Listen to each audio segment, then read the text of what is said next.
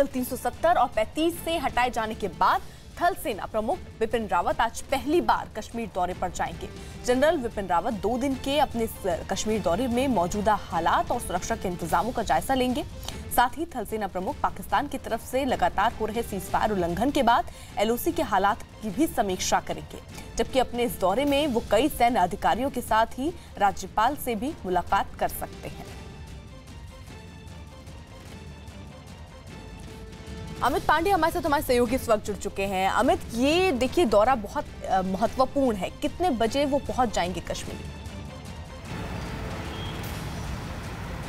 जी, बिल्कुल, ये भारत सरकार की दूरगामी जो रणनीति है, उसका एक हिस्सा है। इससे पहले रक्षा मंत्री राजनाथ सिंह ने लद्दाख का दौरा किया था। उससे पहले अर्जुन मुंडा गए थे और इसके बाद भी यहाँ पर केंद्र सरकार की जो एक दूरगामी रणनीति है, उसके मुताबिक जितने भी जो सेंट्रल मिनिस्टर्स हैं, केंद्रीय मंत्री हैं, महत्वपूर्ण केंद्रीय मंत्री समय समय पर आने वाले करीब एक महीने में वो घाटी का, के अलग अलग जगहों का दौरा करेंगे और वहाँ की योजनाओं का मुआयना करेंगे। और इसी कड़ी में, इसी कड़ी में जो सेना प्रमुख हैं, उनका दौरा ये यहाँ पर बहुत मायने रखता है कि आखिरता, आखिरकार जो सेना वहाँ पर तौन- तैनात है बॉर्डर के एरियाज़ में जो निगरानी कर रही है आखिरकार उसको किस दिक्कत का यहाँ पर सामना करना पड़ रहा है? क्योंकि बहुत 370 हटने के बाद काफ़ी ज़्यादा जो जो फैक्टर्स हैं, वो यहाँ पर नई चीज़ें यहाँ पर सामने आई हैं। मसलन की फेक न्यूज़ का, पाकिस्तान की ओर से फेक न्यूज़ का फैलाया जाना और नए तरीके से घाटी को अशांत करने की कोशिश करना इसके अलावा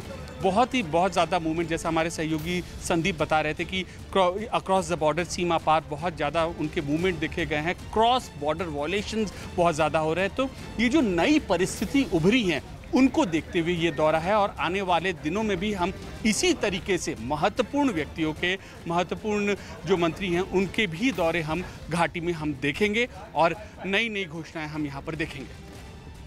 आ, बिल्कुल अमित ये जिस तरीके से आज पहुँचेंगे आ, बिपिन रावत क्या ये सामान्य दौरा माना जाए 370 हटने के बाद या फिर जिस तरीके से लगातार पाकिस्तान की तरफ़ से साजिशों का खुलासा हो रहा है, उसके मद्देनजर इसकी अहमियत और बढ़ जाती है।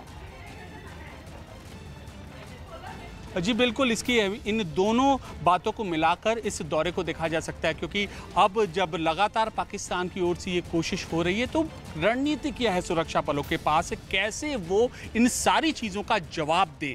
उसका मुआयना यहाँ पर करने जाएँगे और सेना के पास दोहरी ज़िम्मेदारी है। एक तो वहाँ पर क्रॉस जो सीमा पर है, सीमा से घुसपैठ रोकना और दूसरा जो जनता के बीच में लगातार उनके बीच में विश्वास बढ़ाना और अपने कर्तव्य का निर्वाह करते हुए वहाँ के आम लोगों को दिक्कत न होना।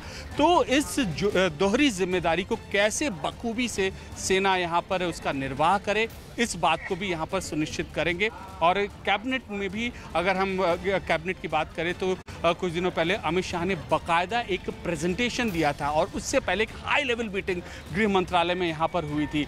तो एक ये भारत सरकार की रणनीति के मुताबिक ही इनका ये यहाँ पर ये दौरा है और हम यही यही हम ये उम्मीद कर सकते हैं कि तमाम जो अभी तक चीज़ें हुई हैं जो रणनीति अपनाई गई है उस पर चर्चा होगी और नए कदम भी उठाए जाएँगे ताकि जो सीमा पार से जो आतंकी घुसपैठ की कोशिश है, वो नाकाम हो सके और सीमा की जो सुरक्षा है, वो पूरी तरीके से, बेहतरीन तरीके से सुनिश्चित हो।